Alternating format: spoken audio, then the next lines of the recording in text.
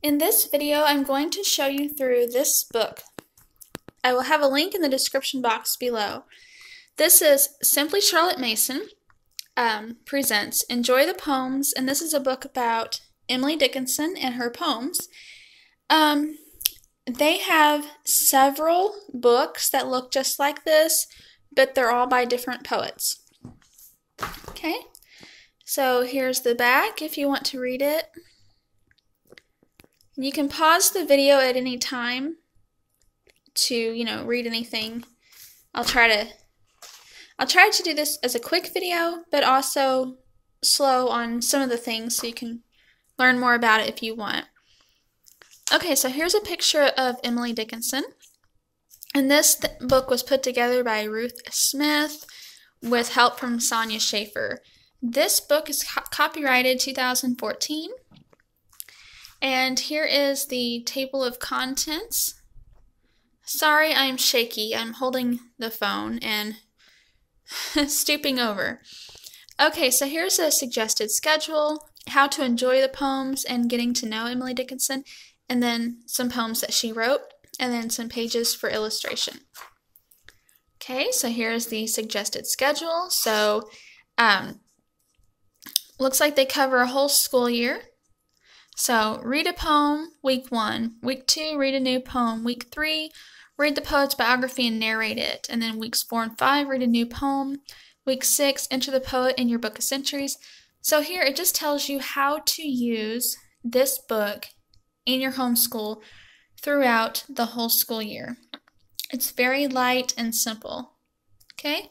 So, pretty much you're just reading a poem each week um, children will, will, read their poems, um, maybe draw a picture of their favorite poem, uh, put the poet in their timeline, maybe narrate what the poem was about. Okay, and this is just telling you how to enjoy the poem. So again, you can pause it if you need to. Try to go down in sections. And see, don't turn the poetry reading into lessons, okay? They're meant to be enjoyed, not dreaded. Okay, and here's some ways to encourage the children to make poetry of their own. Like they could draw it, you know, um, memorize, recite it, treasure it, just act it out, different things. All right, over here on this side, after this line, Simply Charlotte Mason, all of the books that they put together have those lines. And on the other side of those lines is just notes. Okay, so sometimes there's timeline figures, um, little tidbits of information, um, things like that.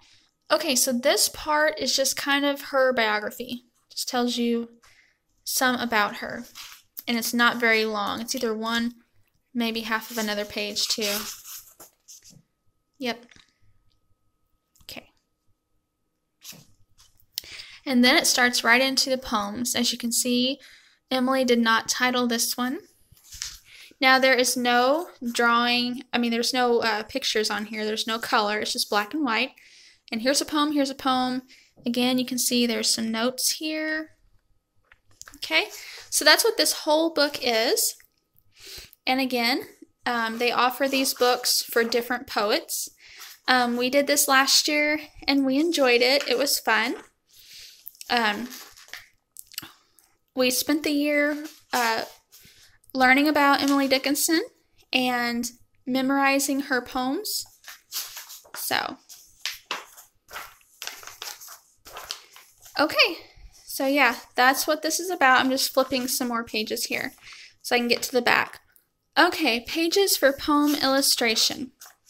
So, an illustration of, and you just put the title of the poem and maybe draw a picture to go for that particular poem. And here's another one. You can see that's pretty simple. And that is the end of the book. So, pretty thin. Okay, so I just wanted to kind of show you what that looks like in case you were interested. Have a good day.